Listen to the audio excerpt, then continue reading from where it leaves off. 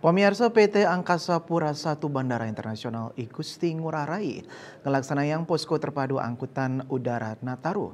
Posko terpadu puniki untuk mastikayang operasional bandara sah penerbangan selami Nataru sida memargi antar.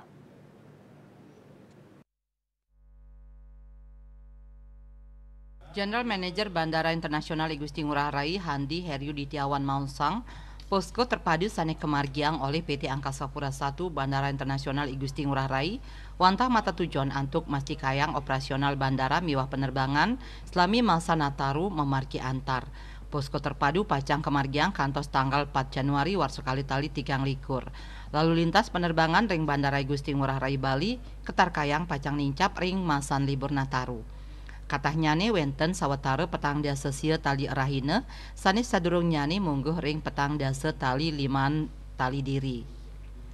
Warsani mangkin ketar kayang pacang saya nincap ring seket talian diri penumpang rahina sani pacang mewali rauh. Panincapan penerbangan inucap kedada sangga terbecik majang kramo Bali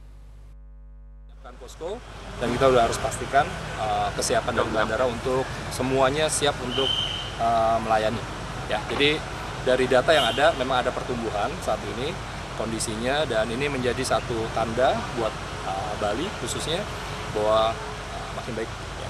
dari sisi kedatangan tamu ini juga sudah semakin apa namanya uh, tinggi. Jadi rata-rata yang ada itu sekitar 49 ribuan per hari ya, dari sebelumnya kan sekarang 45 ribu ya 44 ribu sekarang orang sekitar 49 ribu per hari nah ini yang harus kita uh, pastikan ke depannya bisa jadi bisa jadi akan menyentuh 50 ribu akan lagi naik ya karena memang uh, seperti biasa masuk ke periode apa namanya peak season ya dalam posko ini. Saputra Bali TV